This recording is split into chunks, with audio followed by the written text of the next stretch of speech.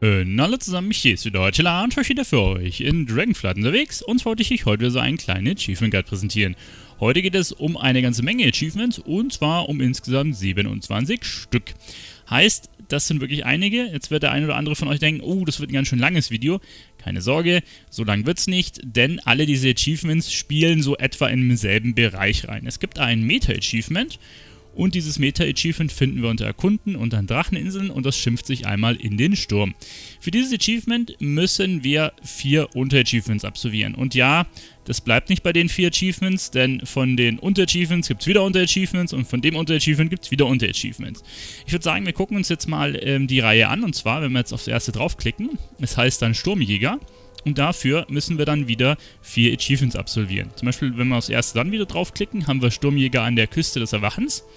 Und das hat wieder vier Unter-Achievements. Und wenn wir dann hier draufklicken aufs erste wieder, Gewittersturm an der Küste des Erwachens, seht ihr, haben wir einen Balken, wo wir es auffüllen müssen.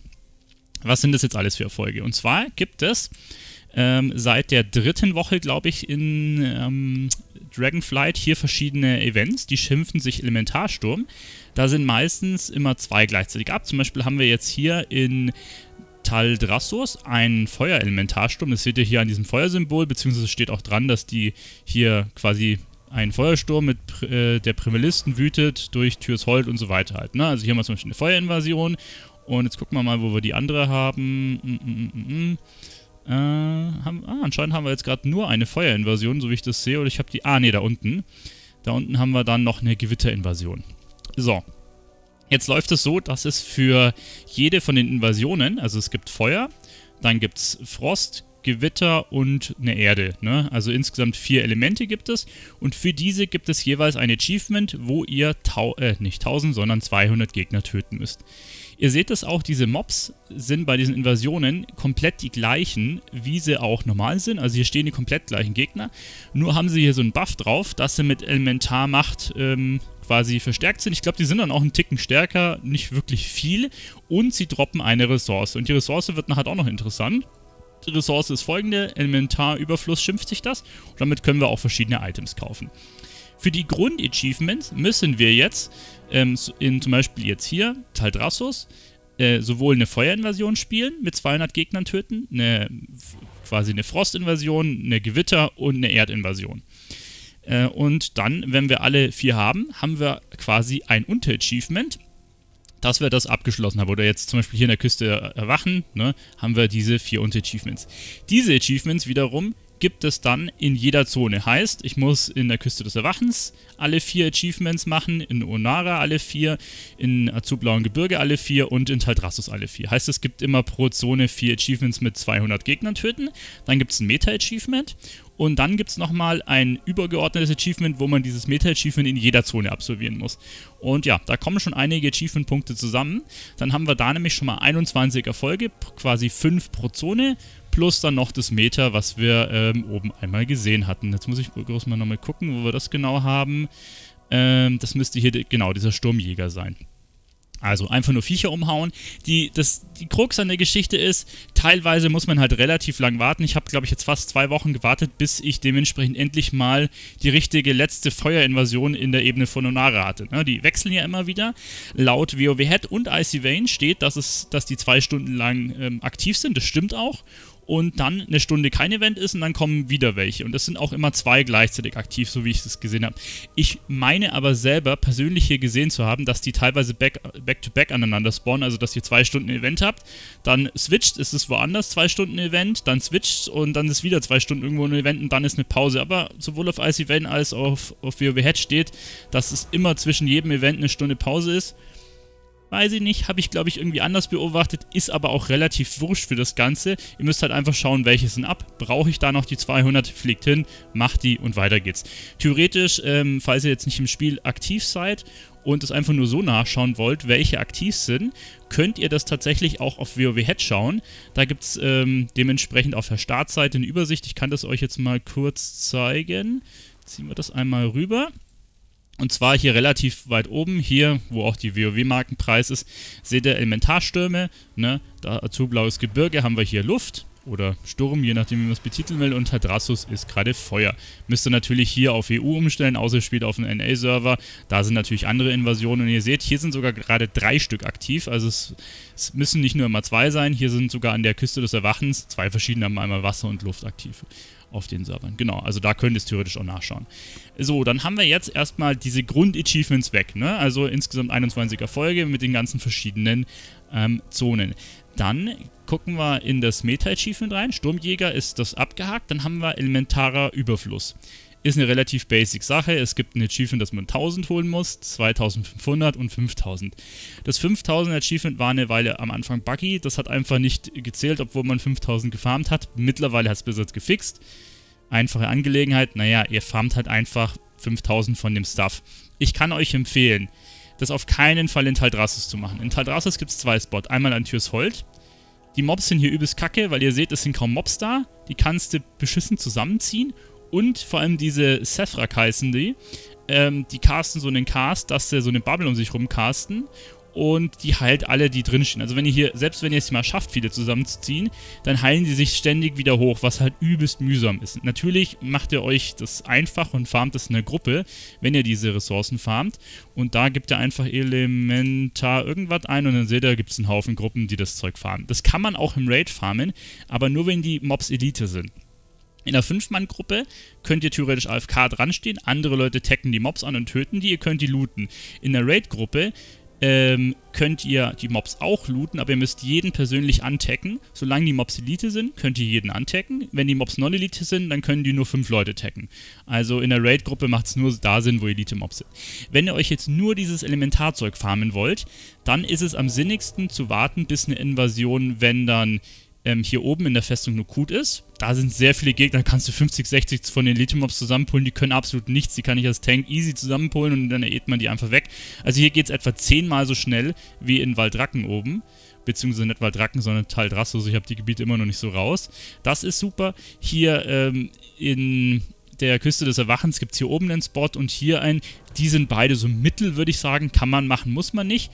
Und in, ähm, ja, quasi in azurblauen Gebirge, gibt es hier oben in der Brackenfellhöhle einen Spot, der ist super, da kannst du auch 50 Mobs äh, zusammenpullen, relativ easy, kannst du riesen Puls machen, kannst du super farmen und der zweite Spot ist hier unten, der ist so Medium, da kannst du auch ein paar Mobs zusammenpullen, sind aber nicht viele Elite da und wie gesagt, die Elite-Mobs, äh, das kann man nur in einer äh, Non-Elite-Mobs, kann man nur in einer Non- Raid-Gruppe machen, um alle Tags zu kriegen und die Non-Elite droppen auch weniger. Ne? Also, wenn ihr das Zeug effektiv farmen wollt, Raid-Gruppe hier oben und hier, das sind die beiden Spots, wo ihr auf keinen Fall farmen solltet, was der absolute Abfuck ist. Es gibt auch ähm, einen Angriff hier in diesem Zeitevent, wenn wir da draufklicken auf dieses... Ähm, ähm, auf diese Sanduhr, dann kann auch hier die Invasion drin sein, in dieser anderen Zeitlinie.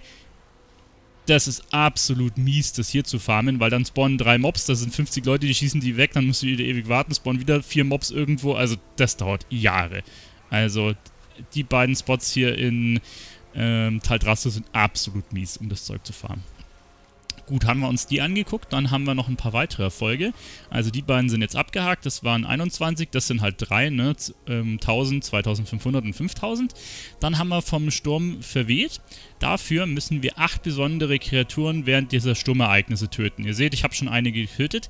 Das sind einfach ähm, quasi Rares, die auftauchen, äh, während hier solche Stürme sind. Die seht ihr auch auf der Map platziert die werden auch angekündigt groß und die haben verdammt viel Leben. Die starten, glaube ich, mit, 8, äh, mit 6, 7 Millionen live, ne?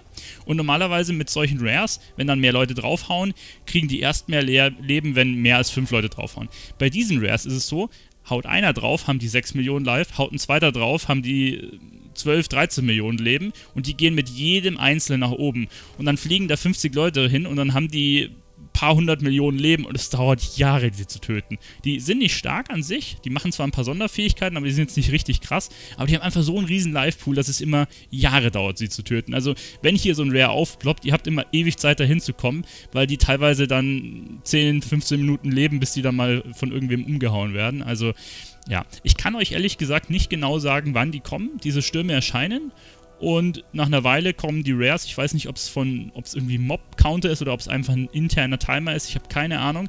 Aber wenn ihr quasi die anderen Achievements farmt, kriegt ihr die easy nebenbei. Also ihr müsst eh nur 8 Stück von denen machen und nicht alle, wie viel sind es denn? 1, 2, 3, 4, 5, 6, 7, 8, 9, 10. Also sind es insgesamt 20, ne? Also es sind doch einige, die ihr hier quasi umhauen könnt. Und dann haben wir noch einen letzten. Und zwar, übrigens, ich habe diese ähm, Rares spawnen auch random auf unterschiedlichen ähm, Gebieten. Ne? Also da kommen anscheinend immer auch wieder die gleichen. Es ist jetzt nicht so, dass nur der eine Rare in dem einen Gebiet spawnen kann. Ähm, das hängt aber, glaube ich, schon mit diesen ähm, damit zusammen, welches Element quasi auftaucht, ne? welcher Rare kommt. Genau, und dann haben wir das letzte noch, ähm, Sturm auf den Laufsteg heißt das. Und was wäre das gedacht? Hier müssen wir quasi ein Set von diesen Urstimmen besorgen. Und da haben wir jetzt zwei Möglichkeiten, dieses Set zu holen. Und zwar, ähm, ihr wisst ja, wir können hier diese Ressourcen holen. Die müssen wir ja auch für das Achievement holen. Und die Ressourcen können wir natürlich auch ausgeben. Und da gibt es jetzt zwei verschiedene quasi Stufen, wo wir das ausgeben können. Die erste Stufe ist, dass wir einfach diesen Elementarüberfluss bei einem Händler ausgeben können.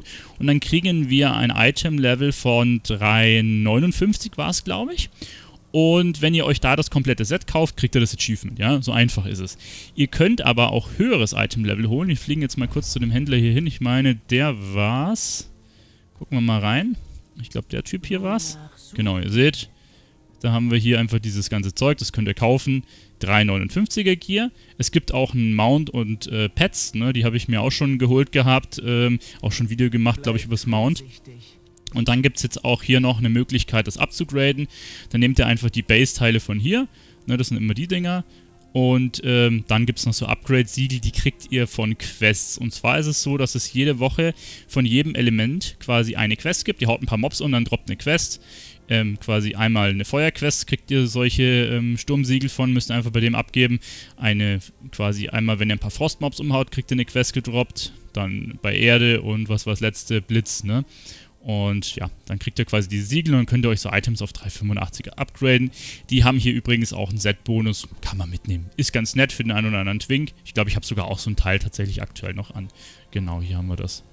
Ja, ähm, gut, soweit dazu. Ihr habt aber auch die Alternativmöglichkeit, was ich gesehen habe, äh, dass ihr dementsprechend diese Sets auch voll kriegen könnt mit dem PvP-Set. Ähm, und zwar gibt es das ganz normale PvP-Set da hinten mit dem Ehren- und Eroberungspunkte.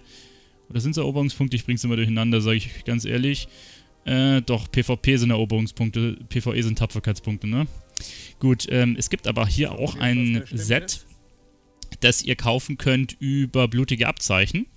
Und die gibt es einfach durch Open World PvP-Aktivitäten. Es gibt auch tägliche World PvP-Quests, ähm, die droppen auch direkt diese Items. Und ihr könnt das Set auch abschließen, in ihm, indem ihr quasi diese Teile kauft. Je nachdem, ähm, ja, wenn ihr die anderen Marken sparen wollt für jetzt Pets, die ihr zum Beispiel auch immer Haar verkaufen könnt, könnt ihr euch auch über das PvP-Set äh, das Achievement holen. Ich kann euch das mal zeigen. Das müsste nämlich hier bei Vorlagen drin sein.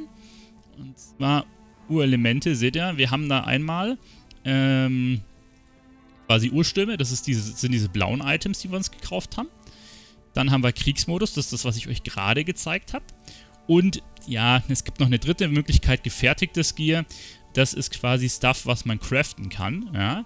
Ähm, aber das macht halt gar keinen Sinn, sich das Achievement darüber zu holen, denn, also zumindest zum aktuellen Zeitpunkt, ich nehme das jetzt hier relativ am Anfang der Expansion auf, dieses gefertigte Gear ist immer das, wo ihr einen Funken der Genialität braucht.